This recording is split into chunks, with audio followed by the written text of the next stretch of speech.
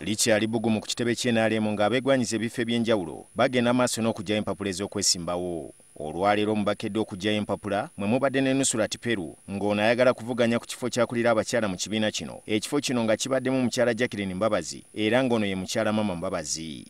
Kakati ndaba nga nrm league eyo bwenjikulira tujja kuba tufunye opportunity.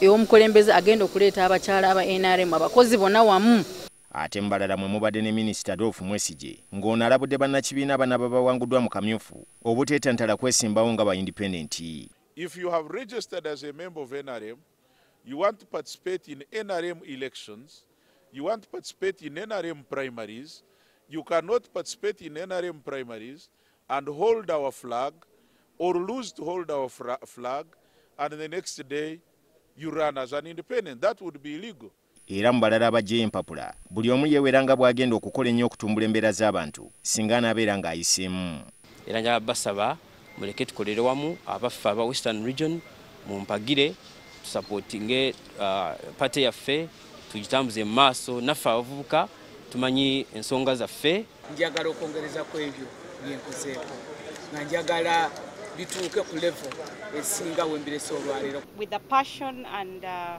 zeal that we have I want to see that uh, the young people of Eastern region are developed. ate bba abeemulugunya ku kyensimbi ennyingi ez'okwesimbawo nabo baddiddwamu bwe bati.